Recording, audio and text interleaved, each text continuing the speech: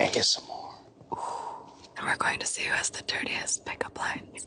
If you were an elevator, what button would I have to press to make you go down? Basement. you, uh, want to save water by showering together? What's your name again? I want to make sure I'm screaming out the right one tonight. Okay. You're so hot. My zipper's falling for you. Zip. There are 206 bones in the human body, but I'd like to have 207.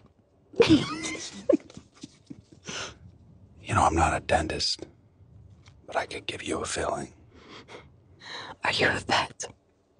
Because I have a thing that needs to be examined. I don't know what, where I am.